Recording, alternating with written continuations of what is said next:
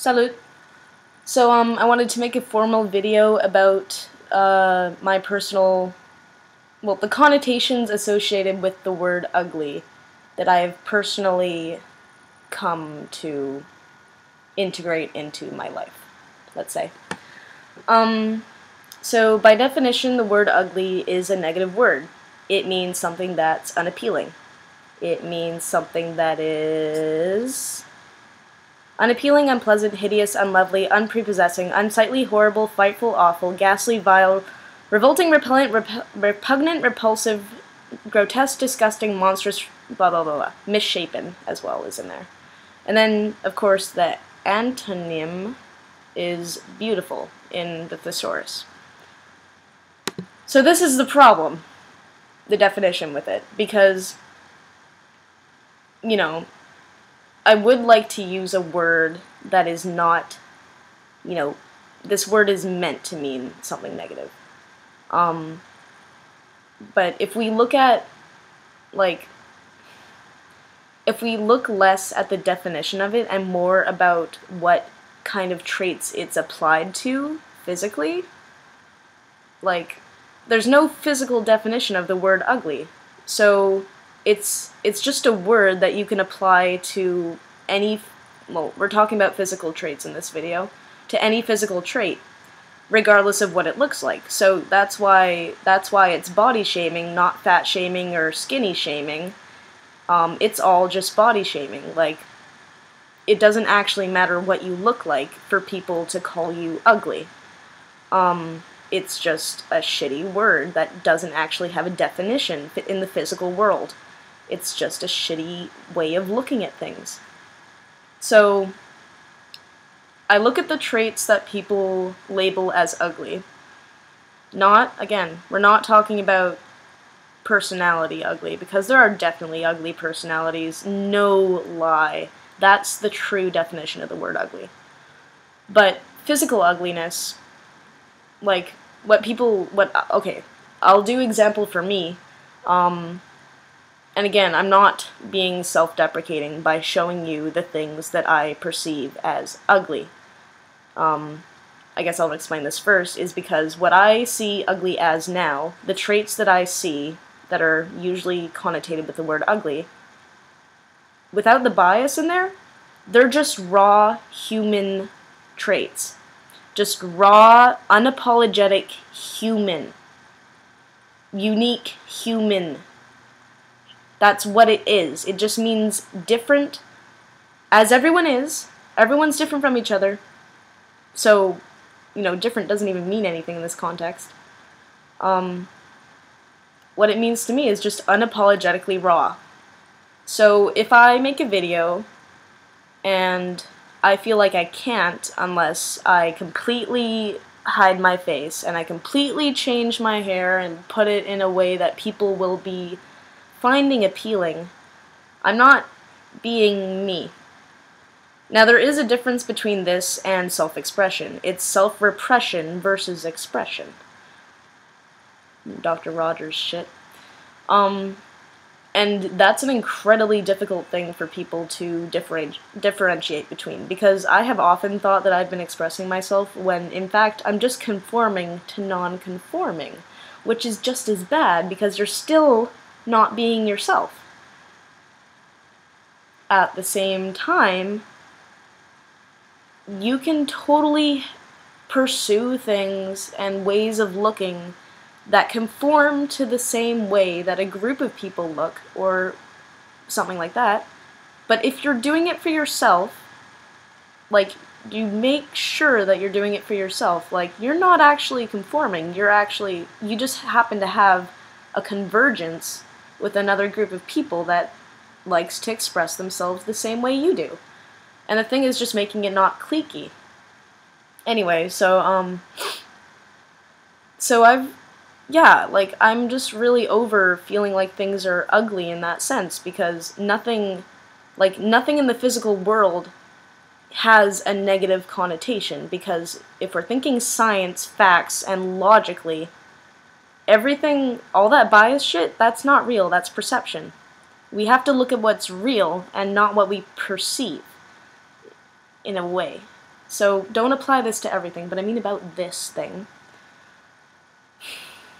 So when I when I wake up in the morning and I have, you know, I have giant circles under my eyes, I look like I've been drowned or I'm drowning.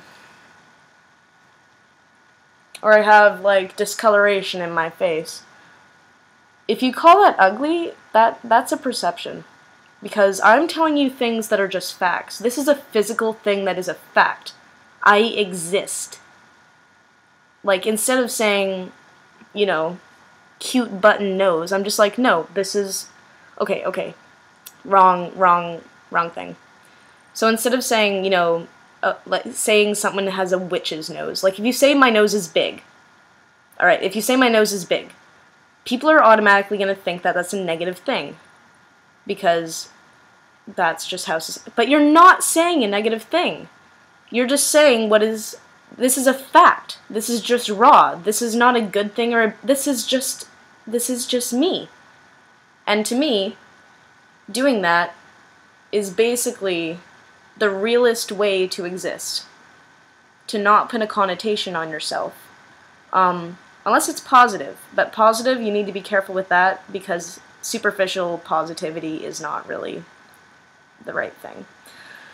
So, basically, taking a look at your face, and instead of me being like, okay, you know, my eyes are way too big. They freak people out. Uh, all these negative connotations are like, you know, the bags under my eyes are huge and ugly, blah, blah, blah.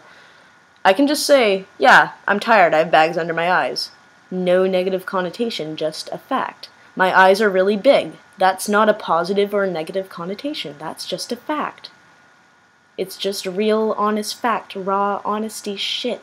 And it's good for you it's really, really, really good for you. Um, again, like, I think that's, that kind of covers it actually. I just fucking love looking at people nowadays though because one of the, like the most exciting and most attractive thing about people is that they're they're all so unique in the way that they express themselves and not only in the way they express themselves, but the way they just are as a human being. Like, biologically, you're unique. You are so fucking cool by being, like, just existing. That is so fucking cool. And.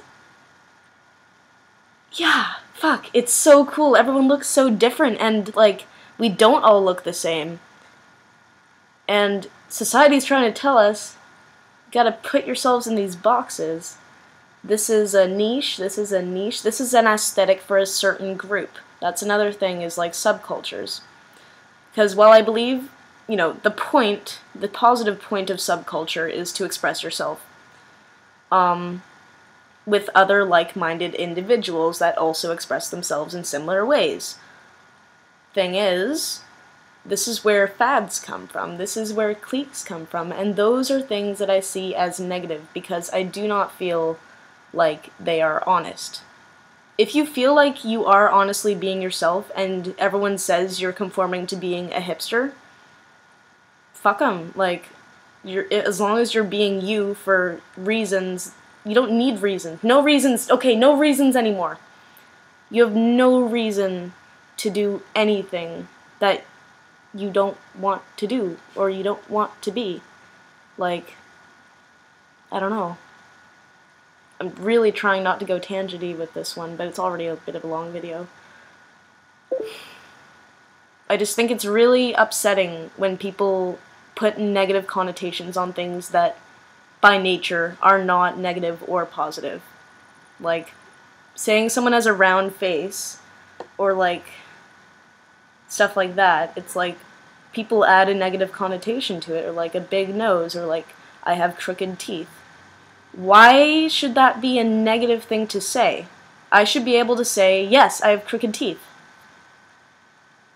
As nothing, like, as neutral at the least, at least make it neutral, but in the best sense, make it something positive.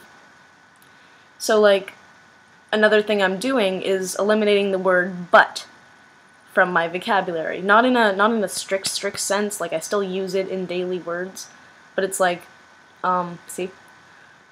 It's like, it's like, oh, I look really tired and stuff today, but I'm still cute. No, you don't say that anymore. You don't need to say that anymore. You say, I look really tired and haggard today, and I'm cute. And not, and I'm still cute. And I'm cute. It does, it's, it does not, contrast does not mean contradiction, okay? That's a big thing. Contrast does not mean contradiction. Contrast is normal and healthy and good. It does not need to mean something bad. Um, alright, this has gone on for a long time, but I think I finally managed to put this into words. Um, so yeah, take a look at your traits as they are, with no connotation, because connotations and beauty standards, like, to an extent they come from the outside, of course, but you know, I've also had times where I've been like, oh no, I don't care about any of society standards, like I'll dress punk as shit, blah blah blah. But just don't conform to anything, even nonconformity, you know what I mean? So, yeah, try to look at yourself just without, with as little bias as, just try to see the truth. Just try to see things logically and just, this is a physical fact. That's all that it is it does not need to be negative. I guess is what I mean to say. Okay. Stay ugly.